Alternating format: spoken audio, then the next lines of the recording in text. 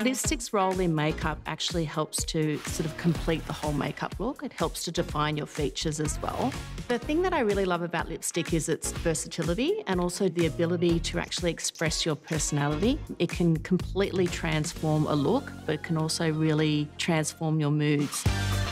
So Revlon Super Lustrous lipstick is Australia's number one lipstick. It's been a cult classic for over 60 years. It comes in 54 really iconic shades that cover cream, matte and pearl finishes. But what I really love about Super Lustrous lipstick is it's actually moisturising and hydrating. So it has vitamin E and avocado oil. So not only are you getting really high impact colour, you're also looking after your lips at the same time.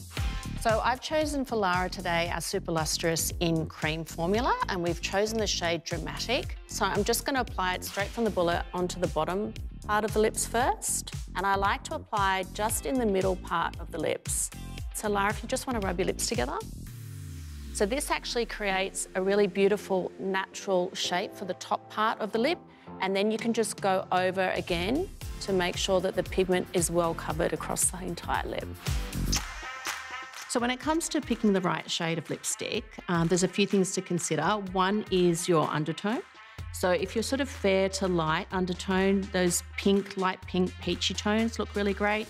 If you're medium skin tone, berries and mauves look great. And if you have a deeper skin tone, those rich reds and burgundies always look amazing. You can actually achieve fuller looking lips with using lip liner, but it's really key to choose a lip liner colour that's closest to your lip tone as possible. Small feathering strokes actually helps to apply the lip liner. Don't worry about having a precise line as it's going to blend really well with the lipstick. If you actually want a little bit more of longevity with your lipstick, you can actually apply it over the entire lip as well. Revlon is celebrating International Lipstick Day on the 29th of July through their continuous partnership with Look Good Feel Better. Look Good Feel Better is a free national cancer support service that has helped more than 170,000 women, men, and teens undergoing cancer treatment since the first workshop in 1990. In a time of deep vulnerability, they deliver invaluable skills for applying skincare and makeup, plus helpful tips on using wigs and headscarves. Revlon have supported Look Good Feel Better for over 30 years through stock donations for their confidence kits.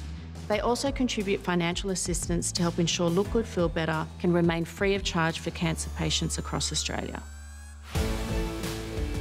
Lipstick really is a form of self expression, but I also like to say that there is no rules. So if you really feel confident and are really drawn to a colour, then just wear it.